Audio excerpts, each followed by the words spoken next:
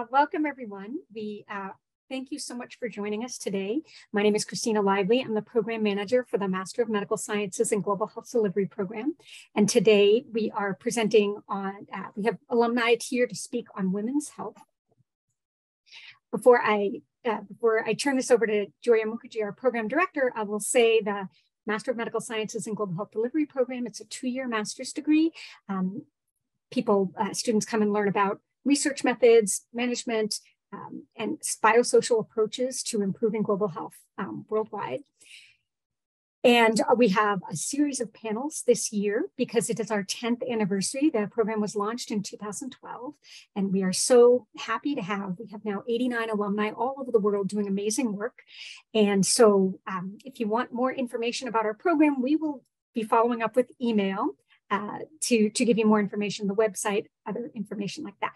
But for now, what I want to do is, is again, welcome everyone and say I'm so excited to hear from these alumni and turn it over to our program director, Joia Mukherjee. Oh, I'm sorry, one more thing.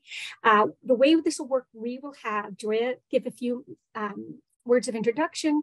The three panelists will each speak for 10 minutes, and then we will have questions at the end. So if you have a question, please use the Q&A. Uh, you can put your question there at any point, but we may wait and answer them at the end, or, or panelists may type in their answer. But um, we'll use the Q&A, and again, 10 minutes each panelist, and then Q&A afterwards. And now I'll turn it over to Joia. Great. Thank you, Christina. Um, excuse me, it's really my pleasure to introduce this amazing panel of speakers, and I'll introduce each of them before their talk so you remember who they are. Um, and we have three uh, strong women's health advocates and feminists um, and people who really understand that there is still a huge gap in what women can receive um, in terms of healthcare and dignity and respect. Um, and so, as we think about global health delivery, we think about really the gaps. And in some places in the world, the chance of dying in childbirth is 100 times higher um, in an impoverished setting than it is in a wealthy country. I mean, there is almost nothing else that has that disparity of a hundredfold difference um, and so, what do we need to do to do better? We need basic dignity and respect and gender equality. We need access to modern uh, reproductive health, and we need safe maternity care. And all these three speakers are really working at that interface of trying to improve respect and care for women um, and the autonomy of women to make decisions about their own lives. So uh, first, we will be hearing from Ifrah Abdi. Ifrah was one of the very first trained midwives in Somaliland. She uh, has a midwifery degree, a bachelor's in nursing, and received her MMSc last year in 22. Um, she is currently um, a lead fellow at, uh, at Harvard. And she is uh, still working as a consultant for the Ministry of Health. I think they've wanted to make her minister, they've wanted to make her dean. Um, and she uh, will be continuing her work in her home country. Uh, she'll be talking about the research that she did at Harvard, assessing the different factors that led to poor maternal outcomes in Somaliland. So, Ifrah, I'll turn it over to you, and you have 10 minutes. Thank you so much, um, Joy, and thank you, everyone. I hope everybody hears me well. Um, um, I'm gonna start with the research I have um, done while I was in the master's program, which was assessing factors that impact maternal health outcomes in Maroodijeex region, which is in the city of Somaliland. Um, before I did my research, I was um, just doing a regular um, working in a maternity ward, and I didn't know how much um, the mortality rate was outside um, in, in my field. let me start with um, next, please. Yes, um, I did my research in Somaliland. I'm from Somaliland. Um, our population is about 5.7 million. Um, maternal mortality ratio is 692 um, per 100,000. Um, there was a Somali um, demographic survey that has been done um, two years ago, and it was 396 per 100,000. Um, Somalia is a special um. It's um, not recognized around the world, so our, our resources are very limited, um, including the maternal health. Next.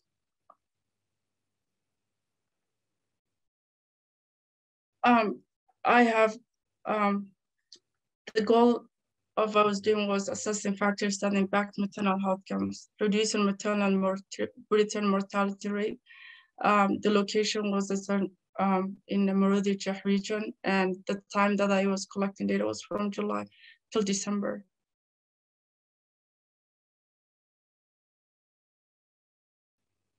There is the conceptual framework that has um,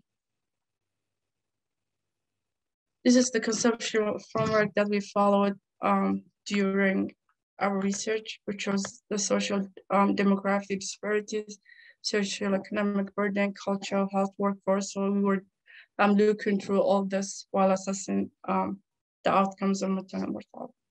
Next, please.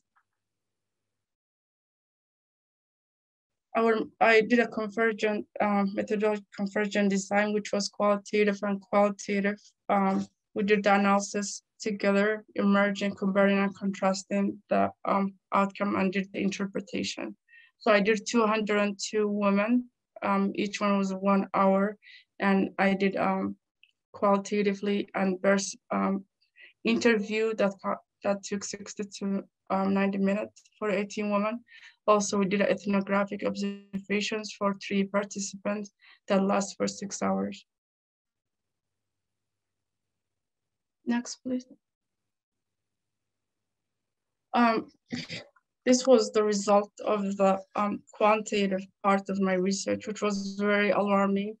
Um, according to the number that I took um, and I um, interviewed or I um, did the survey on 83% of the women that I've been interviewed was in the city. Only 11% of those women have antenatal care visit and um, the other number was only 6% of those women had their HIV um, status um, checked, although WHO recommended that every woman should have that tested before um, they deliver. Um, the, the other um, very alarming one was the PPH or postpartum hemorrhage was 67% out of 100, which was a very, very high um, number that comes up. Next, please. Here was the leading um, complications of maternal health, which was infection was 37%, postpartum hemorrhage 41%, and hypertensive disorders 2%. The reason hypertensive was 2% um, was no one take any medications very before or after they deliver. So that number, most of um, um, the participant or or patients could not answer or give me a right answer on 2%. But as I'm doing another research around the regions, almost 50% of those um, of the women that delivered within the past two years had hypertensive disorders or preeclampsia. This is the breakdown of maternal health complications. PPH, as you said, was very high. Next, please on my qualitative findings, um, there was emerging four themes that came out, which was barrier to access maternal health service, relationship and accompaniment, lack of autonomy and complications. Um, next, please. And we did a perceptual method. Further, we explored the woman's journey, assessing women's socioeconomic impact of maternal health, exploring structural barriers limited their access. Um, the, the, interview took 60 to 90 um, in-depth um, interview for 20 women and ethnographic observations. We record notes on participant observations, explore journey of care, understand social impact on maternal health outcome. Next, please. Um, this is one of um, the ethnography observations that I did while visiting homes. Um, this is, um, I want to mention this, and, I, and I, I always do it um, going through the, when I'm um, seeing these pictures was um, what Paul Farmer called um, pragmatic solidarity, which is meaning that Bur and their interest should always be the top priority in all our efforts. And going to their homes, I've seen um, the actual um, problems or what they have um, in, in my own eyes, which I couldn't do it um, if they came to the clinic. I want to thank Paul for um, teaching us that. Next. Um, our conclusion came out on systemic barriers and practices in public health facility in Hargeisa. Um, honoring women's voices, allowing to guide, reflect, and motivate the journey of health-seeking um, behaviors, health system strengthening by having staff, space and stuff, and system that help address women's healthcare needs.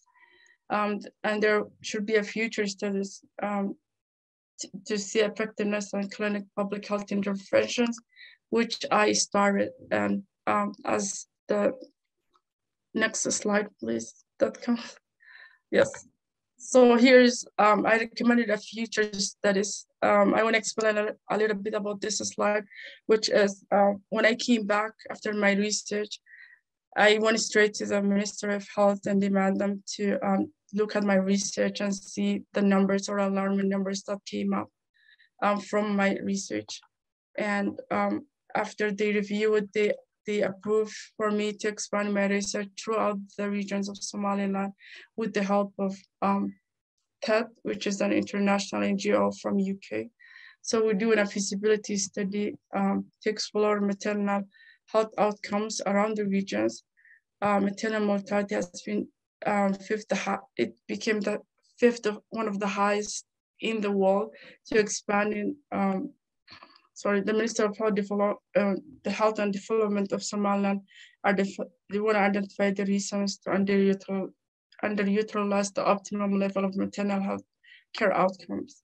So we are in a process of doing that, doing that throughout the regions and expanding um, uh, my research, which was, um, I, I, I want to and thanks my mentors, Joy and everyone that took part of it. Our research has moved on throughout other country, which was um, one of my uh, dreams that I, I wanted to do in um, after finishing um, the masters and it became true. So um, I, I, I want to say thank you and I, I will share after when the results come. So here are- Okay, Ifrah, you have about a minute or two left. Um, so this is my last slide. Okay. Um, so here's the um, some of um, my colleagues and the other collections. So as you see, before I did only women's, um, collecting data um, from women and exploring their journey of care. But this time, I we included and invited men to see how they can help their wives or like their women sisters, mothers, like to get the care they need. And actually, the my expectations or what I was expecting before I did the research, and after I get there, um, answer was very different. Like I was um, in my research, there was lack of autonomy there, but now I've seen so many men um, encouraging their women to go to the healthcare and um, wanted for them to even to sign themselves uh, if there is any emergency uh, cases, which was um, in when I was doing the data collection, they were all saying no, but I can see now the difference that's shifting. Men want to take part of um, the care of women, so the maternal mortality goes down. And um, that's about it. Thanks so much, Ifrah. Okay, thank you, Ifrah. That was fantastic and, you know, really exciting to hear that your work will be extended throughout Somaliland. And, you know, obviously the point of doing the work is to really change the reality for women. And I know that you'll be in a position to do that. So it's very exciting. Um, next, we have Dr. Christophe Millien, who received his master's in medical science and global health delivery in, in uh, 2020. Uh, Dr. Millien uh, serves as the um, chief medical officer for the Mirebalais University Hospital, which is a 350 bed teaching hospital in central Haiti that's um, run by Zanmi Lasante. Um, and he also is an OBGYN uh, who has been uh, working in Haiti for uh, his whole life, but for more than 20 years. So, Christophe.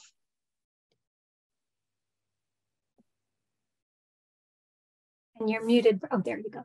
Okay, thank you so much, Joia. And I'm really happy to be a part of this wonderful panel composed by my beloved professor, Dr. Joy, and my two beloved classmates, Yassah and Ifa. And for this presentation, I will talk about the application of pragmatic solidarity in reproductive health. And, oh, it's not, next. Uh, and the objectives of this presentation, we're gonna look at a little bit the story of reproductive health at HUM. We're gonna look at the interventions in reproductive health. And also we're gonna look at the implication of social medicine of that. And the story is that in 1984, and we start an organization, a little organization now, which is become a worldwide organization called Partners in Health and PIH. And it was started by a visionary guy called Paul Farmer, my beloved professor, and I, who passed away, who passed, who passed away a, a year ago. I will never forget him. And after that, starting with the with the care and CANGE, and we we observe a growing number of patients uh, who are coming to the hospital, and quickly after, and CANGE became one of the most frequented hospital in the country, and after that, they scale up the health uh, the healthcare in many facilities in Central Plateau and Artibonite. And after that, and an important event happened in 2010, where the earthquake broken the health and health system. And we observed that uh, the health facilities were collapsed. And also we observe also many healthcare, healthcare providers died and because of that. And because of that, the state government asked PIH under the leadership of Paul Farmer to build the to build Mirebalais University Hospital. And hospital was built in 2000, was inaugurated in 2012 and it, as Joia said, it's a 200 bed hospital with many services, ICU, emergency, etc. And we have six residency programs, including a nurse anesthetic program. And the OBGYN ward only represent, represent one third of the hospital. And we have the first four-year residency program in OBGYN. And it is the first hospital in the country which separated the conjoint twin.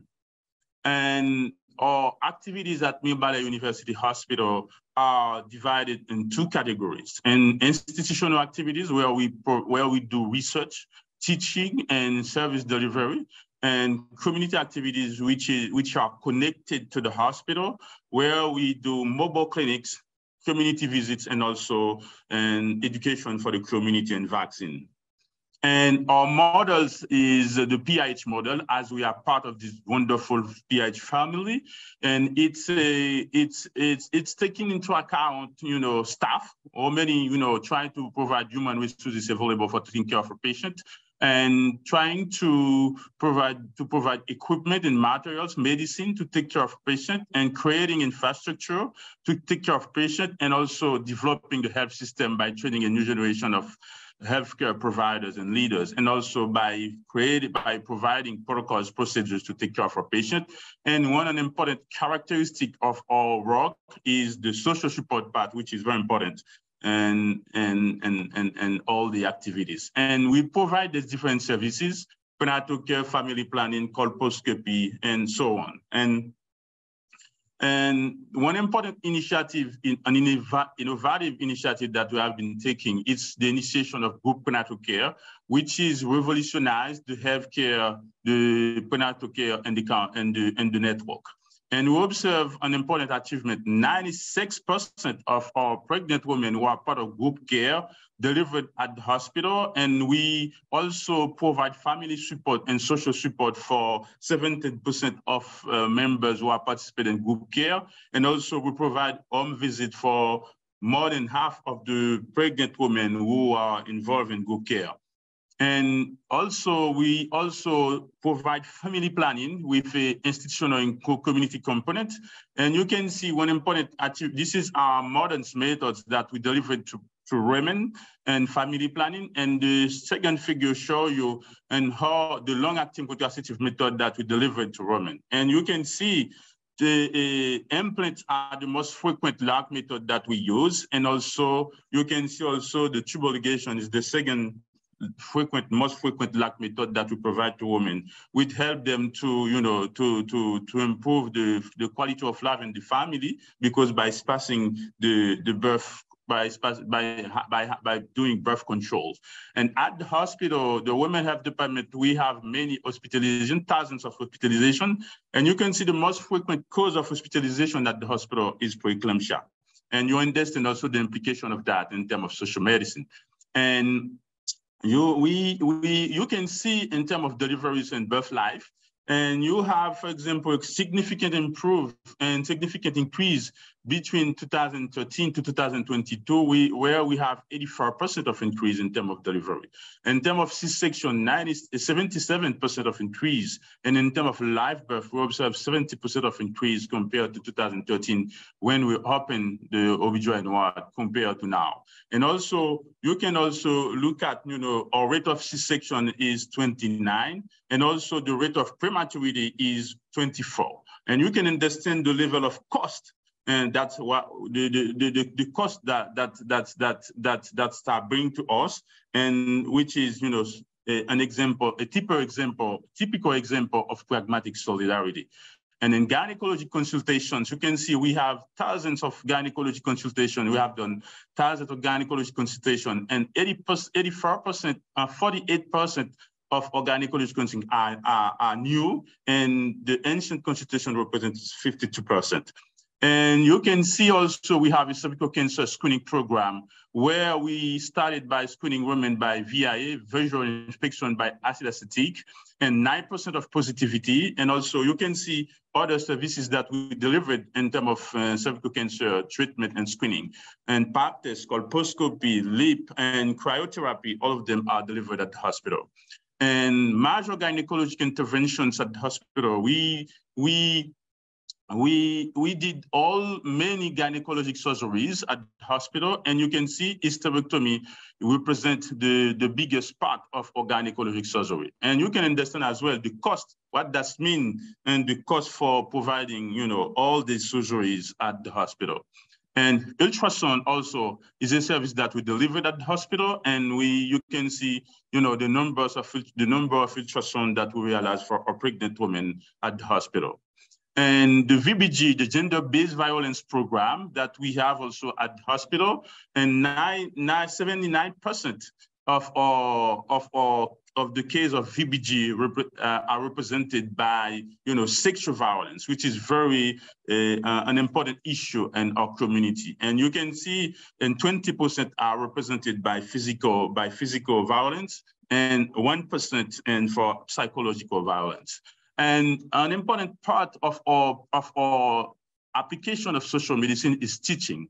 We try to teach a new generation of physicians, and we arrived to put in place the, the first four-year residency program in the country.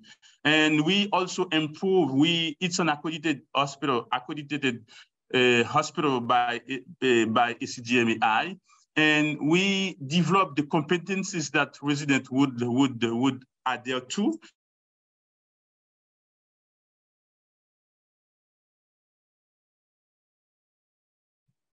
Christophe, did we, or your sound just cut out? Oh, no, there. And we have, you don't hear me?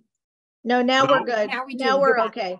You're back. Yeah, you're we back. have we have five classes of OB/GYN doctor who got graduated, and for a total of 20 resident, uh, 20 OB/GYN graduated at our program, and 80% of retention are observed. And we have four class classes and training actually with 22 residents in total and training. And we developed the first fellowship in onco at the hospital with international partnership and with um, Mass General Hospital, International Gynecology Cancer Society, Dana-Farber Cancer Institute, PIH, and we have one fellow in training. And research, and we have done many quality improvement and research project at the hospital and 20 quality improvement projects uh, about have, have been done. And also uh, more than 40 research projects have been published locally and internationally. And these are some examples of research that we have done at the hospital during the last 10 years in, at, in, in, in, in, in social medicine and global health. And what are the key implications of that? It's really important to mention that and teaching social medicine to healthcare providers is important to challenge the status quo. And it's important also to understand effective pragmatic solidarity is very critical to achieve good results. Multidisciplinarity and partnership are essential in social medicine. And this practice of social medicine requires to consider healthcare as a human right because it's really important to mention that. Community interventions are necessary. You have about a minute. Community interventions are to understand the community voice and to support international healthcare delivery, institutional healthcare delivery. Research on quality improvement are necessary to build effective intervention in social medicine. Social justice and equity represent the moral base of our, of our action. While there our challenges and social political context, accreditation of our services and residency program, availability of maintenance and biomedical equipment, financial issues, brain drain, availability of subspecialties, continue the legacy of Dr. Paul Farmer as, as infrastructures issue. What are the key ingredients of our effective pragmatic solidarity? First of all, it's a clear articulated vision and mission, strong motivated teamwork, honesty and humility, research and innovation, availability of biomedical equipment, medicine and materials, goods partnership, good leadership, good community health system, social support, comprehensive resources, resources, and good planning. These are key of our achievement. And thank you, Joia, and all my panelists, and thank you, Christina, Bailey, and my two, three beloved professors from Harvard Mary Jo, Byron, and uh, Mary Kay, and I appreciate you a lot. Thank you all who are here. Thank to Harvard for giving me this opportunity to, to, be, to be part of this wonderful panel. And I would like to finish by saying love and respect for my family who supported me all, all the time, my patients, Um, from whom I have learned, you know, medicine, my parents, my professors, Harvard and Haiti, my students, my residents, my colleagues, at HUM and at PIH, and finally to my community who have been suffering for many, for many decades of all kind of atrocity. And happy to have your questions and comments. Thank you. You're muted right now, Joia. Thank you very much, uh, Dr. Millien. Great presentation, really linking social medicine teaching with also the burden of disease and treating the burden of disease. And, uh, you know, we're fortunate to have you at a teaching hospital um, so you can share that wisdom with, with the next generation of physicians. Um, next, we have uh, Yassah Lavelah, um, who is also a midwife. Um, she graduated from the program in to, uh, 2020 with her master's in global health delivery. She is currently pursuing a degree in social work in the United States. She launched uh, and leads an organization in Liberia that's dedicated to helping women get good maternal care. Uh, she was also a Mandela Fellow um, and, you know, recognized for her um, really life-saving work during the Ebola pandemic uh, while she continued to deliver babies, even uh, despite the huge risks there. So Yassah. just one quick note, Yassah, can you click slideshow at the top right so we the slides take up the whole See on the top right? Next to share, it says slideshow. I think if you click that, it'll, the slides will take up the whole screen. Oops, sorry. Oh, and you're muted. Can you see my slides? Um, now you have to share again. Oh, okay. Let me share.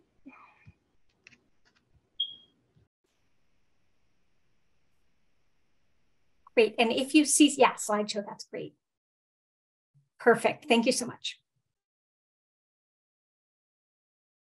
Oh, except you're muted again.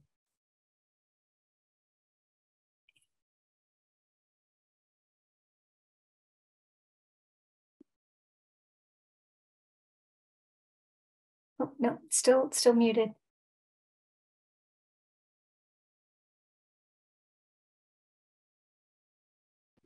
Eh, oops. Can you hear me? Now we can hear you, but we don't see your slides.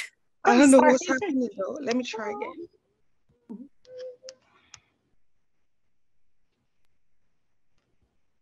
Do you have the slides, Christina? You could just share do you, them. Do you want me to? Oh, here we go. It's coming. Oh, but now she's muted again. Oh, that's so interesting. I don't know what's going on. Why is that happening? Okay, now we see your slides. So you need to just unmute. Now you're now good. You're good. Yay. Can you, see, can you see my slides? We yes. can see your slides and we can hear you. Perfect. Okay, good morning, everyone. Um, thank you very much for giving me an opportunity um, to my Global Health Delivery Program. I appreciate you all, and that's why I always say um, it's good to be part of a program that will always reach out to you to give back. Today, I'll be talking about Comfort Closet, promoting safe, skilled, and dignified health facility delivery in Liberia. So how it all started. Why um, at the Global Health Delivery Program at Harvard, I was given an opportunity to do a research in 2020. Without any knowledge of research, not knowing where to start my research from, I had a dedicated team that worked with me to design my research and help me complete my entire research. And while doing my research, something stood up for me when I, at one of my research locations, I saw this um, posted on the wall, uh, on the walls at one of the public health facilities in Liberia. I saw no money business, all services free of charge, and I saw this poster of of my um, materials pregnant women needed for delivery.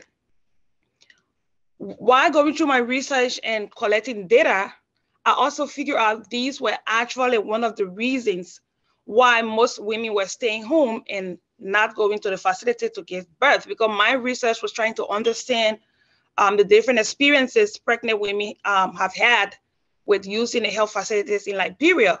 So this stood out for me as one of my research findings that pregnant women were staying home giving birth because a lot of them could not afford these materials, especially pregnant women in the rural areas.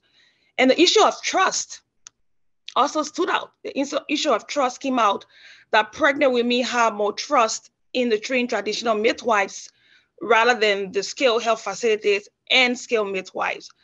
And our findings were based on the fact that we talked to pregnant women, we talked to traditional midwives, we talked to skilled midwives. And after all the data collection, this was one of my research locations as well, which I did um, an observation there. I, I, I was there with them, spent some days with them, and did some observations after the research. And so I decided to do something about my findings, even though that was not part of the plan of my research.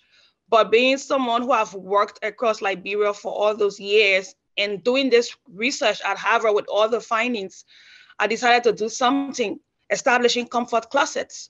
So if you look at these pictures, these are babies who were who were born without the basic supplies. Their mom, their their moms could not afford to get those um, basic materials like the blankets, the hut, the diapers, and everything. So if you see here, you see them wrapped just in a piece of lap, what we call lapa in Liberia. And it is a serious issue because the, these mothers who will be accepted in the facility to give birth, they will have to pay for whatever materials that, that were used for them. So I decided to launch the comfort closet um, based on my findings So we chose the maternal waiting home, which was one of our research locations, and they gave us a room. So that empty room, we renovated our empty room and stock it up with all the basic supplies uh, a pregnant woman needs to give birth. So each of the bags, if you look here, after we renovated the room, we had these bags um, that we stock up with diapers, sanitary pads, um, um, bleach, um, um, just the basic things they needed to give birth, blankets, baby uh, onesies and everything. So what's in these bags? These are the materials that we stock up in the bag and each woman going to the maternal waiting home to give birth will have one bag free of charge. So the maternal waiting home, where it's located, is in an area that is attached to a very big government facility, government hospital. So women who are far away from health facilities, they will come there at eight to nine months, stay there until they get in labor, and then they are transported to the health facility to give birth. The goal is to prevent maternal death and be able to handle complications when they come in the hospital. So each of them at the maternal waiting home receive one of the bags. And on the day we launched the comfort closet, we had um, 28 traditional midwives. So what we did, we assigned one midwife at that waiting home as part of the pilot um, project that we are doing with the comfort closet. So that midwife uh, will escort a pregnant woman when she's in labor to the hospital, stay there with her until she gives birth, and then they bring her back to the waiting home before she can go back home. So if you see here, our midwives were with us and they were saying on their t-shirt, say no to bathroom delivery, say no to delivery in the, in the banana bush, which is something that is done in Liberia. And if you look at our impact from May 2021 to 2022, we've had over 300 women benefiting from this program, passing through the maternal waiting home and having safe birth in the hospital. And what's striking to me, or what stood out to me, was that most of the deliveries that are coming through the maternal waiting home are all complicated delivery, majority of them leading to cesarean sections. So we are glad that our impact, we've been able to get women from the community to come to the health facility receiving these bags. And one of the things the, the midwife told me was the bags are actually encouraging more women to come to the facility because they know they will have everything they need to give birth in the hospital looking at these pictures with all these babies smiling in their in the blanket, being comfortable, is one of the things that, that make me happy because this was my goal to ensure that every woman will have access to a safe, skilled, dignified delivery where she can be happy and hold her baby after delivery. So uh, what are some of the challenges we, um, we've had running this program? Can you still see my slides, everyone? Yes, we still see them. Yes. Okay. We so we've had issues with collecting data because I, am glad that I learned this um, at Harvard, making use of data. We've had issues with getting the data on the usage and how the whole thing is running. And we also had issues of sustainability. Just so you know, this program was like sponsored by me, just asking friends for donation, using my birthdays um, for raising fund and asking people to help. So sustainability has been our issue, how to sustain this program, but we've been able to like restock the room after every three months based off of donations, based off of people seeing the good work we're doing and coming in to, to help. So what, what are our future plans? Moving forward, we are working on establishing two more closets. One will be at the Monrovia Central Prison in the capital of Liberia. And another one will be in another rural area called Finitoli another maternal waiting home that serves two county in two counties in Liberia. And we are also having talks with the Ministry of Health to see if it's something that they are able to partner with us or work with us to establish at different hospitals across Liberia. So I just want to say thanks to my entire research team, um, my PR Carol, Alain, Hannah, thanks for the qualitative skills you imparted in me, Joia, everyone, my classmates, Christina. I want to say thank you coming to Harvard without any idea of, of, of doing a research and being able to do a research that I've led to this program that is helping a lot of women. I'm just grateful. I want to say thank you so much. And it is my hope that this program will go across Liberia and at every hospital we have a comfort closet. I'm going to stop here. I will take questions.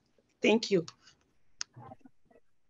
Yeah, so thank you so much for that. Um, you know, I, as anyone who's worked with me knows I, I really have a problem with the term sustainability because how can we live in a world where this basic dignity can't be sustained? We've got to figure that out, right? It can't just be up to poor women. And, you know, I remember the first time that I heard about this kind of problem was in Haiti from one of our graduates, Maxi Raymonville, and who said, you know, a lot of women don't want to deliver because they're ashamed they don't have clothes for the baby. And I thought, how can that be? They don't come to the hospital because they're ashamed.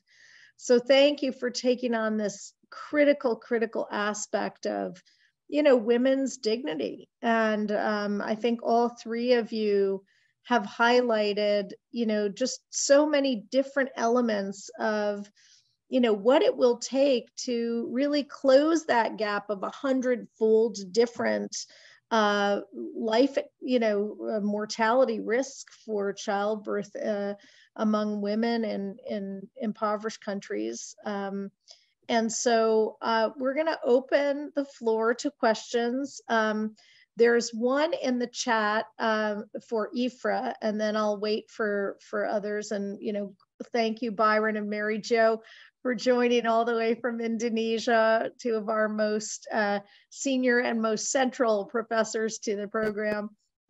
Uh, we're always grateful for your participation and support. Um, the question for Ifrah, what level of the three delays model do you think is most important for tackling maternal mortality? Um, is, uh, is this something that's coming out? Of course, the delays being you know the delay in getting to the hospital the delay in decision making um, and so what what did you find in your um, in your work that could track to those three delays?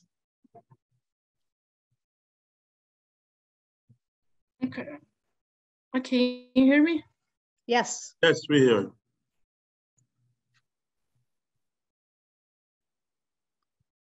Yeah, thank you for um, Joy, and thank you for um, the question. Um, as I was um, collecting data, I find out um, more delays actually, not just the three, but uh, there was a lot of delays that I um, um, encountered. Um, one of the most um, important was um, there was a tra traditional birth attendance that has been uh, working for years. So Can you hear me? Yes, we can hear you. Oh, okay. So um, mothers were trusting more to tra traditional birth attendants. So the first delay was coming um, from there. Like um, the mother reached the hospital by the time that um, she bleed or um, they could the traditional birth attendant could not help them um, anymore. So by the time they transfer her and get a car, there's no um, ambulance that they can call. So the first delay was um, not trusting. Um, the second one was um, the infrastructure. The how the maternal um, child centers were located far from each other, and there was no direct transportation um, from their homes to to to the um, health facility. So that was uh, a burden for them to find a financial there was another financial constraints, which was the transportation. They couldn't afford going um, to the clinic either by paying um, their incentive or they have to pay certain um, money in order for them to be seen. So there was uh, like all, there was so many burdens for them to, to reach. Another one was lack of autonomy, like their um, families were not allowed, like their in-laws or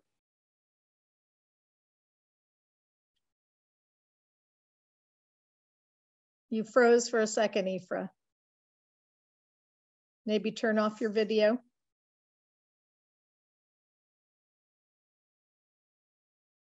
Okay, while we're getting Ifrah back, Ifrah, you've frozen. Um, I just want to say that like the the the three delays model which is very interesting what you know what we say is it's always all the delays right? There's no way to look at one thing because people's lives are so complicated.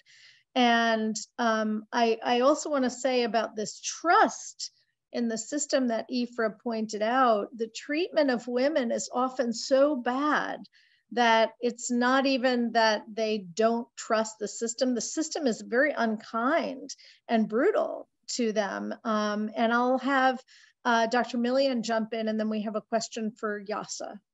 Go ahead, Millien. Thank you, thank you so much, and Prof. And what I would like to say, and before before giving my comment on the two dealers, just a little comment about that. And I would I forget to mention one of my beloved professor, and I have been working for for you know still continue working together. Harlan, I love you and forget to mention your name. And I have to say that because I've been working with you so much and we're still working on the chapter and accompaniment. I love you so much. Thank you so much. And what I would like to mention about the Tridilis Joia, what you mentioned, what you said, like you said, it's it's it's it's not a it's not it, they present it in some paper like a linear stuff, but it's not linear because mm. there is so many factors. For example, when you look at, for example, having money in your pocket, having food in your plate, and it could influence systematically your decision to go to the hospital. Because if you if you don't get, for example, who can't pay for transportation, for example, that could influence the, the care that you're gonna have at, at the hospital.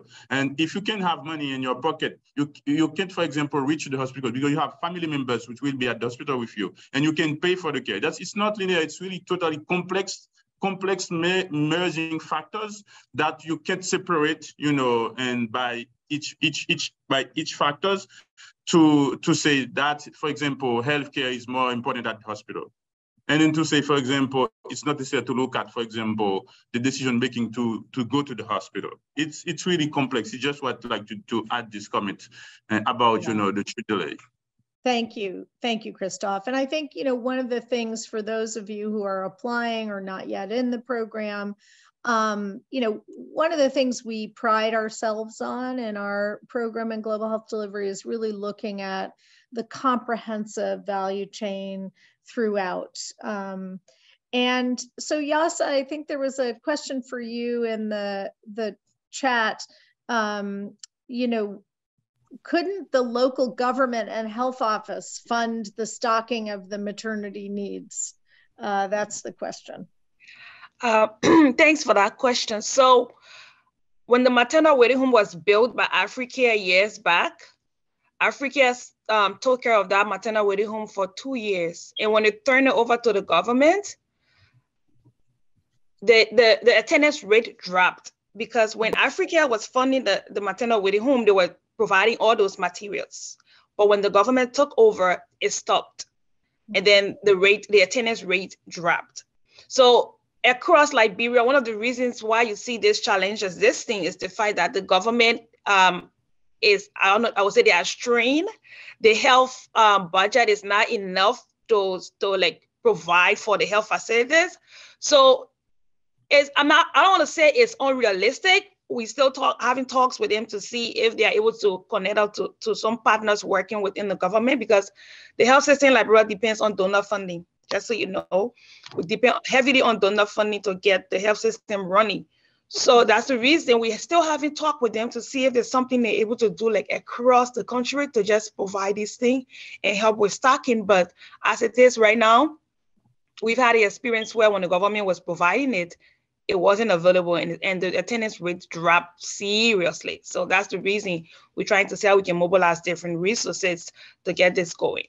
I hope that answers yeah. the question. Uh, thank you, Ifrah. Uh, very clear. And I, I, you know, what I would say is governments like Liberia do put a fair amount of their uh, GDP into health, but it's just insufficient. And as it is, many of the vital staff are underpaid. Um, and so I think it's it's very challenging. Um, Ifrah, uh, your hand is up, so I'll let you answer. And then uh, Jonas, if you want to um, have a um, uh, jump in, we'll let we, we can open your your chat. Eddie Jonas. Uh, but go ahead, Ifrah. Thank you, Joia. I um, there is a question in the chat that I was reading, and um, I, I wanted to add um, the answer on it about the community health workers. Um, after expanding my research to the regions, I went to different um, regions in Somaliland, and um, there was some of the regions that there was an international um, donors or NGOs that help women. It called Ch Women There were uh, community members that goes homes that um, bring women to a prenatal visit and deliver medications for free. So there um, two of the regions that I visited, one of them did not get any help from anyone. And their um, mortality rate, like every week, there is three or four women die because of lack of care. And the other side of the country, um, where there's more help and more um, international donors or NGOs, women were getting saved. And um, those um, community health workers are called women champions um, have minimizing a lot of the problems that women have for for coming to the clinic. So um, I, I, I find out that um, it all related or it all depend on fund. Like if you have enough funds, you can change a lot. Like um, just an example of two these two places, and one of them are, um, you know, the problems are so minim so minimum, and every mother is connected to the healthcare um, clinic because of um, there is a, someone that she trusts um, that will take him to, to the clinic and the other one not trusting. So I, I just want to add to that. Yeah, and I think that, you know, thank you for that, Ifrah, you know, that ties in with the question about sort of community health workers, which, um, you know, thank you, Tamba, for that question. Community health workers, I think, have played a role um, in these projects. Um, but often they are the trusted people. You know, it might be the traditional birth attendant. Uh, someone asked about that. So um, very good. I don't know if, uh, if Byron and Mary Jo, if you wanted to ask a question live, we can open the mic for you. And I think, have you opened the mic for uh, Dr. Jonas?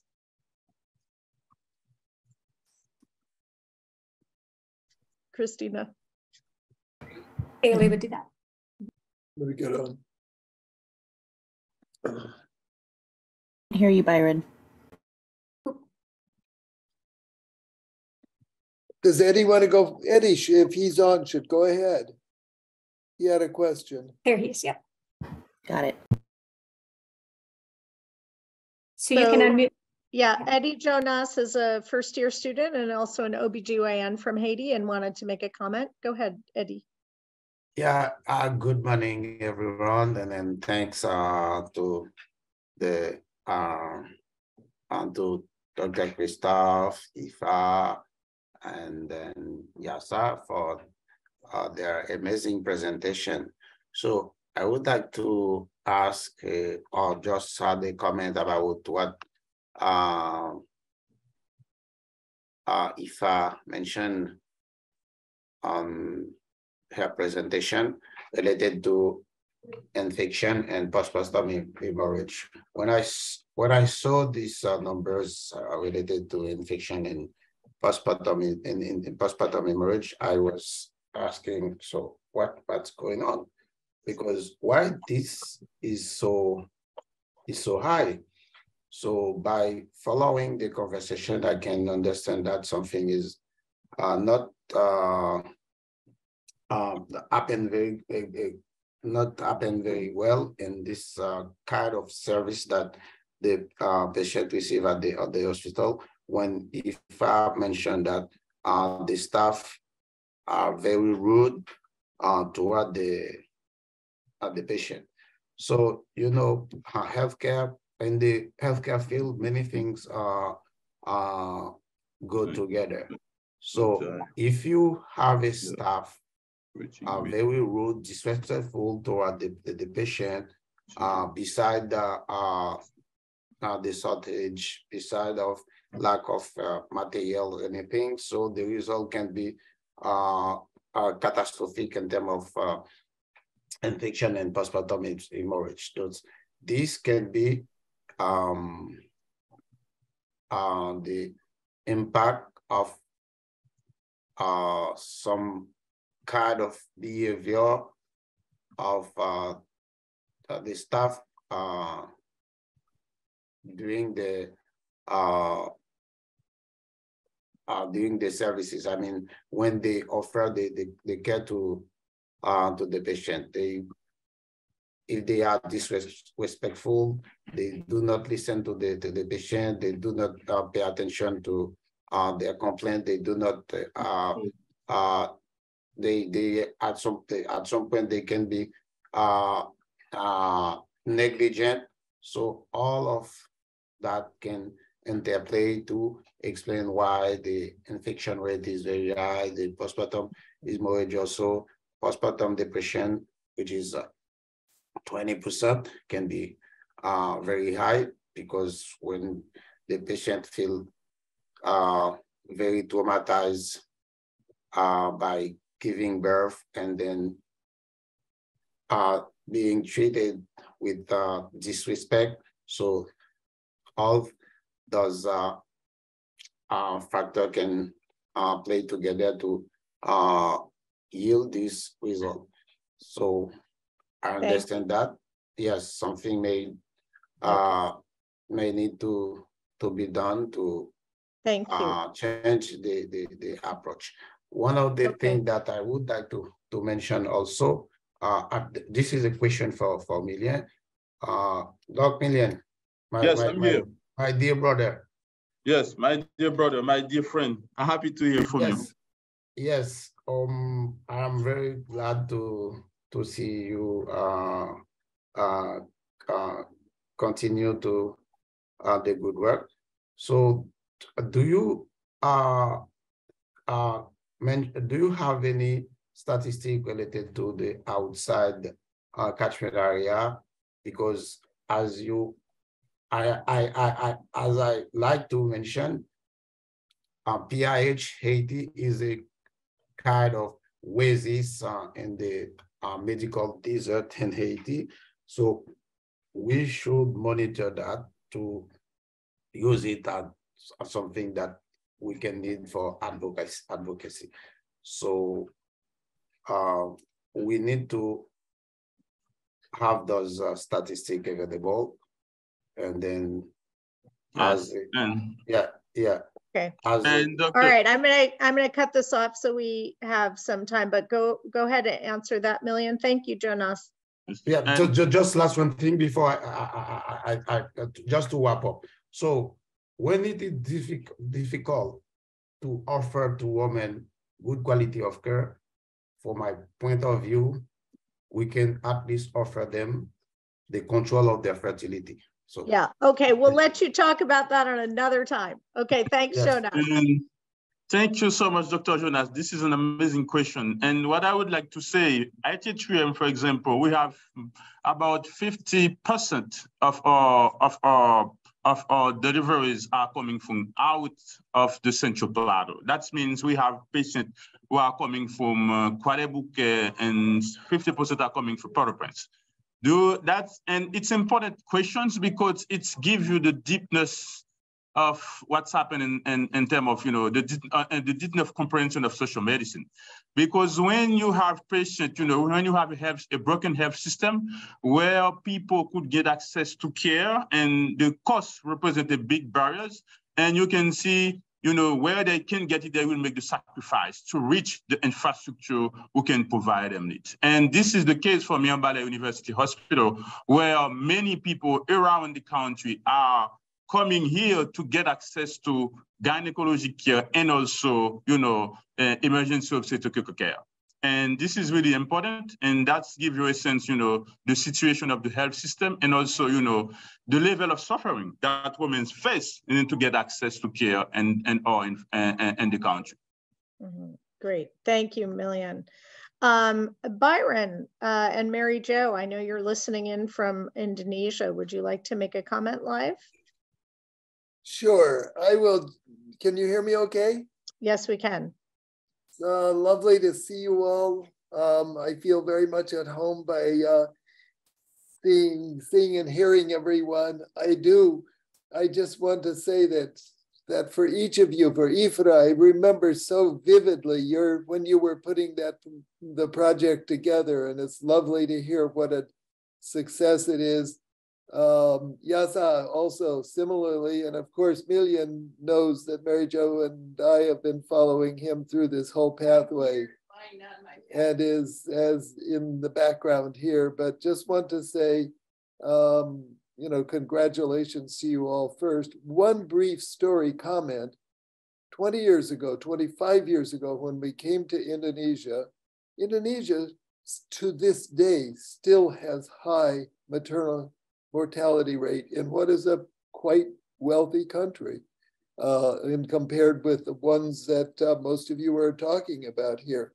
And so um, one of the questions, they had a big USAID project like 25 years ago about this. And I remember they were like finding all kinds of ways to track the women more carefully, et cetera. And I asked, we asked, Mary Jo and I asked a simple question Do people die en route or they, do they die in the emergency room? Is the problem really with the women or is it the, or is the problem with the healthcare system? And I think that's always also. Um, actually, the findings of, um, of a small project that uh, uh, that uh, our colleague at Brandeis did was that they were dying in the emergency on the in the hospital.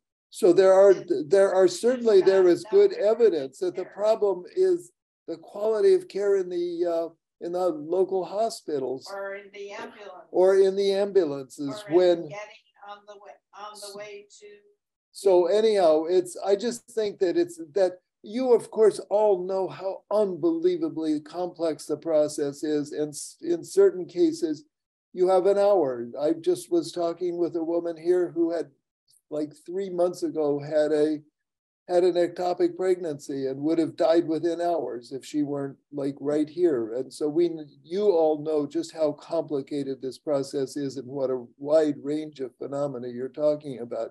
But it's really great, Ifrah, to see you spelling out uh, the different situations and to hear from all of you. So thank you. Great. Okay, thank you so much. Ifrah um, or Yassah, Actually, why don't we have Yassah um, answer that one for now because she hasn't uh, answered one in a bit. Yassah, what do you think? Is the is the should the onus, should the um, responsibility be on the health system to do a better job? Or is it, I mean, this is a rhetorical question from Byron, or is it the fault of the woman for not getting there? And I'm going to answer this question like from my own experience and from where I come from. And I think is is the it's the responsibility of the system to provide the kind of services that people need.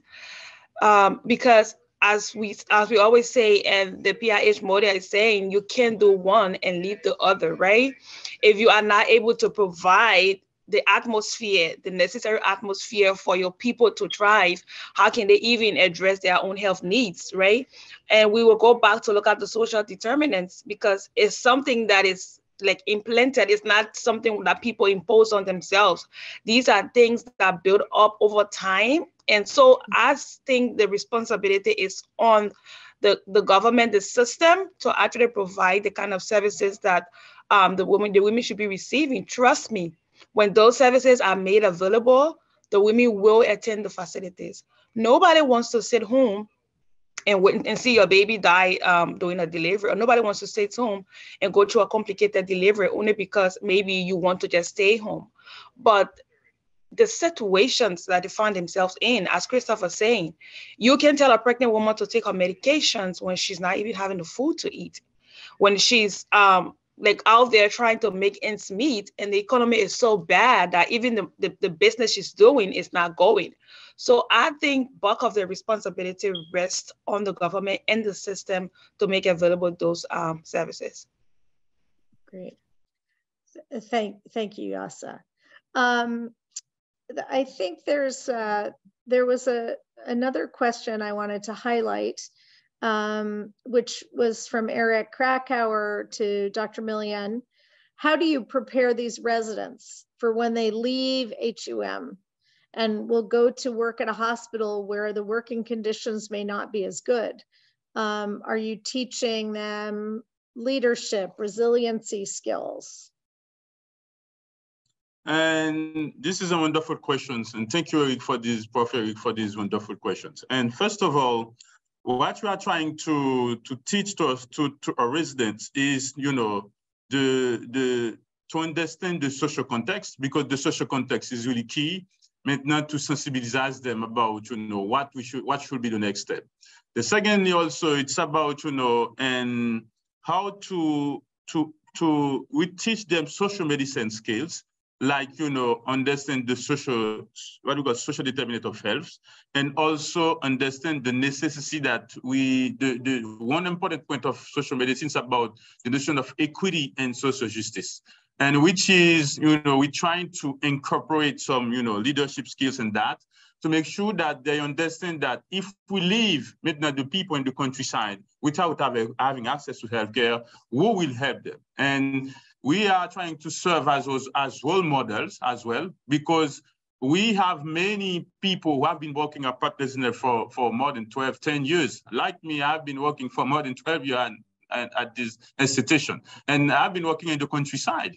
And just to show them it's it, and also when we talk about role model, to show you know, how can you change many of the paradigms. And the status quo is always challenging to, to challenge, what I, what I would say. But we try to sensibilize, to show them that it's possible. This model, for example, the building of Mirebalais University Hospital, the model of partners in health we have, and we have shown its efficacy, and also we have shown that uh, how many people that we have we have to save life. And we use this model to, to, to, to, to provide them, you know, skills to, to, to, to provide them, you know, enough understanding that is necessary to, to go to the countryside to, to change the paradigm. And the example is clear. We have 80% of our physicians are working in our network and outside of our network, not in Port-au-Prince. Only about one or two uh, OBGYN uh, who are working outside of our network, but who are working in Port-au-Prince, but all of them are in PIH or something else, for example, in Grand Riviere du Nord, or that give us a sense, you know, how they really motivated to see how they can do health, they can change the health system. And also the same for emergency physician as well, because we have the same residency program in emergency. Now we have emergency, emergency physicians who are working in our network and also outside of our network, but mostly outside of the outside of purpose. But we know that the security context also is a factor that, that favor the people going to the countryside to work. But we know as well the way that we prepare them, teach them, to incorporate, you know, the, the notion of healthcare as a human right, the way that we show them, we go to the community with them to show the reality, how people, the way that people, you know, live, and they understand that it's more than necessary to go to the countryside to continue to serve the poorest part of the world. And then this is what Paul told us before, and we're trying to perpetuate that. Great. Thank you. Thanks, Dr. Millien. Um, I, I guess um,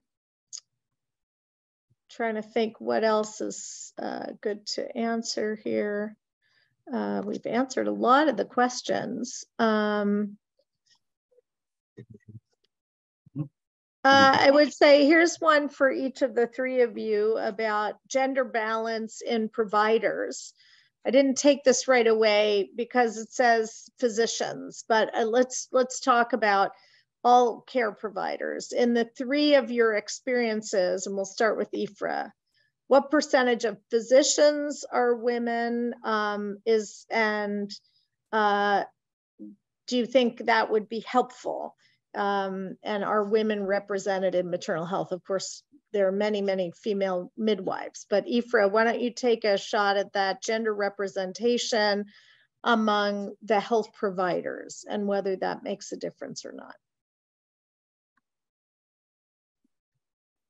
I don't know if I have to go first. No, I, I was going to have Ifrah go first. Oh. Ifrah. Yes. Um, hi, I think my internet is cut enough. Thank you for um, the question, Joia. Um, I just want to um, add a little bit of experience back when I was getting trained as a midwife. And there was um, less healthcare workers back then. There was only male doctors, and um, it started women were um, going to medical school, and there was like two doctors that came from abroad. So I remember um, when a woman needs a cesarean section, and there is a, um, a female doctor. The um, mother says, "Oh no, I don't want to get." Um, um, operated by a woman as she was not trusting it uh, back mm-hmm. then but the things has been changed and now actually as the um like seeing um or examining all the different health workers in in in town or in Hargeisa, half of them are women. In the hospital that I work and get trained at the hospital, um, the surgeon is a woman, the um, OBGYN is a woman, the anesthesiology is a woman, the laboratory is a woman, and um, th there's like a huge, um, like women are getting trained more, and and I've seen women are like coming to deliver are looking for um, female doctors, which was um, because of the culture burden, because of their religion, they prefer more women um, for them to, to, to, to get contact with. So um, it, it's it's improving now that I've seen um, lots of females around. Yeah, and I would say you know one of the um, there is one. Oh, yeah. No, go ahead. Go ahead. There's, no not minister of health woman, which I'm gonna be, but um, we are yes, in that are. level of being a health worker. Yeah. I, I would say, you know, and I'll, I'll let Yassah and, and Christophe weigh in as well, and then we'll wrap up this session. But one thing I would just highlight for the, the, the audience and for the person who asked that question is there's gender, but there's also the interprofessional respect because midwives do shoulder a huge amount of burden. And yes, they're mostly women and the doctors are often mostly men, but it's also the doctor nurse respect um, that can be really uh, challenging and important to think about in, in trying to take this holistic view and even respecting the traditional midwives who may have a lot of knowledge of the community and the families themselves, the women themselves. Yassah and then Christophe, and then we'll wrap up. Um, thank you for that question, Joia, and thank you for the answer. And Ifrah, I will just talk about my experience working back in Liberia um, in the maternal health field. I think it's different for different locations, and culture also play a major role. But when it comes to gender balance act, we have women in in the health field that are represented. Like Joia said, the midwives in Liberia, most of the midwives are women the skilled midwives and traditional midwives. But the thing there is, you find more doc more doctors who are male, male um, in that in that profession, and most of the time you find that the doctors will try to exert their own um, authority over the midwives. And the truth is, from where I come from, a lot of women prefer to work work with women, especially in the rural areas. A lot of women will not trust a, a male like doing their delivery or working with them. And even some of their partners will refuse for a, a male to do a delivery for their wives. I had an experience where um, a, a particular tribe in my country, he would not, the husband would, would, would not allow a male doc, um, doctor to deliver his wife. They had to go through all the different cultural um, traditional rites and all the different consultations before that. But I think there there is actually a gender representation. But as Joia said, there's an interplay of this whole interprofessional stuff. Yeah. Great, thank you. And Christophe, as the uh, honorary man on this panel, what would you say to this sort of yes, gender dynamic, but also the interprofessional dynamic? Yes, and happy to be the, to be a part of this wonderful panel of women because you know I'm a feminist, a right to health care advocate, and I would like to, to mention that. And for these questions, like Yassah mentioned and, and also Ifrah, the, yeah, the cultural aspect that, that is really important because, uh, for example, in Haiti, for nurse, you have more, more, more women compared to men, and for doctors, you have more doctors compared to, you have more men compared to women in the field of practice, in the field of OBGYN. And what we are trying to do at Mirebalais University Hospital is to try to, cha to challenge this cultural status quo, where we're trying to improve to improve the ratio of women, you know, in our residency program at OBGYN. It's not something difficult. It's not something easy, you know. And but now it was about 10%. Now it's close to be 20, 25. It's not always good, but we need to go to arrive even more women in this in, in, in terms of ratio, women and men and OBGYN. The second aspect, the, the, the second aspect is about choice. And we need to make sure that women, you know, have the choice about choosing a man or a woman for getting access to the OBGYN care because they need to to make sure they need to to to get this possibility. And when you have a residency program, and most residency program you have most of them men, that's when you de you decrease this possibility of choice for women. And we need to to look at this aspect. The third is the notion of equity and social justice because and uh, even in, in developing in the, in the developed world, we observe that there's a discrepancy in terms of you know salary between men and men, and also and but in the developing world, it's not uh, it's not always discrepancy in terms of salary and and, and and and and between, but it's about also having access to the economic, the market economy, because when who get uh, access to OBGYN and then can get access more to more money, they can do more business. It's a, it's an economic, you know, aspect. And we need to challenge that to make sure that and equally women can get access in terms in term of salary because uh, we observe that also in the developing world, but also in the same time to improve the economic situation of women because they need also to get access to these to this to this to this economic to the what we call that to the economic aspect of the of any society. Having access to job well paid job and they can make the change for themselves. And also the third, it's about leadership. Fourthly, about leadership. And sometimes because men are, you know, always at the top of most of the positions and limiting the capacity of women for making decisions for themselves. And this is important to integrate women at the highest levels of position to make sure that they can, you know, make decisions for themselves. And this is what we are trying to do at HUM. For example, you have many chief of services who are women, and we have men also. It's close to be 50-50. This is something that we are trying to improve over time to make sure that women, you know, we respect the right of them and they get access to all things that we have in the society like men. This is my, my answer. Thank you, Christophe. Great answer. so, you know, I, I think we we could talk for hours with this talented group of of feminists and women's health advocates. And I want to thank each of you, Yassah, Ifrah, and Christophe, for sharing not only your research work, but the ongoing that work you're doing to try to improve dignity and life of women. Um, and so thank you very much. And I'll just turn it over to Christina to close up the morning. Yes, once again, thank you so much, Joia. Um, thank you, panelists, um, for sharing your experiences. Joia, for your amazing leadership of this program, the Master of Medical Sciences and Global Health Delivery. I also want to thank Bailey, who is um, helps get the word out, our, our marketing and, and outreach for our program. And I want to say thank you, everyone, for joining us. Our next panel will be on Friday, March 3rd, and it will be on tuberculosis care. And we will send a follow-up email to everyone who joined us today with more information on that. Um, for now, again, thanks for joining and we'll wishing you all the best.